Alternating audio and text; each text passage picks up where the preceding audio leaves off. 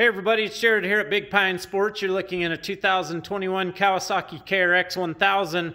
We just installed the Super ATV rear tailgate. Wanted to do a walk around, show you a little bit about the tailgate and the install.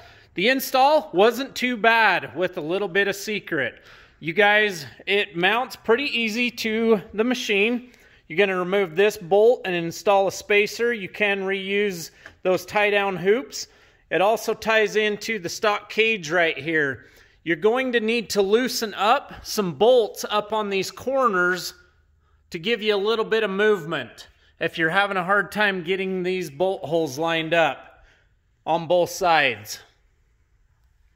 After that, the install is a breeze. Super easy, looks good, great product. We've got them in stock. Give us a call, 435 427 3338. Check us out on the web at bigpinesports.com.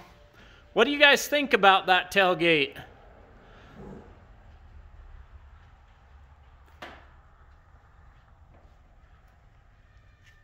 Great product from Super ATV.